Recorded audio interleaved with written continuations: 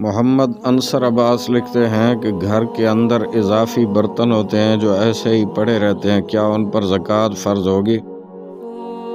बसमीम अलजवाब बियानमलिकलवहाब अल्लाहुम्मा हिदायतलहक़ वसवाब ऐसे बर्तन जो बेचने की नीयत से नहीं खरीदे गए, उन पर ज़क़़त फ़र्ज़ नहीं।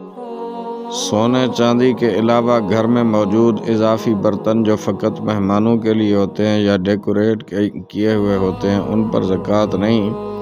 अलबत् उनकी अपनी मौजूदा मालियत जहाजत असलिया के अलावा दीगर अशिया की मालियत के साथ उन बर्तनों की मालियत साढ़े बावन तोला चांदी की कीमत के बराबर हो जाती है तो ऐसा बंदा ज़क़़त ले नहीं सकता।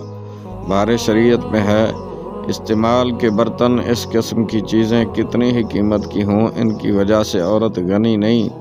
दूसरी, वो चीज़ें जो हाजत असलिया से जायद हैं, जीनत के लिए दी जाती हैं, जैसे जेवर और हाजत के अलावा इसबाब और बर्तन और आने जाने के बेश कीमत भारी जोड़े। इन चीज़ों की कीमत अगर व कदर नसाब है, औरत गनी है, ज़क़़त नहीं ले सकती। बहार शरीयत, जल्द अव्वल, सफ़ा नंबर नौ सौ तीस अल्लाह आलम अज़्ज़ वजल व रसूल आलम सल्ला वसम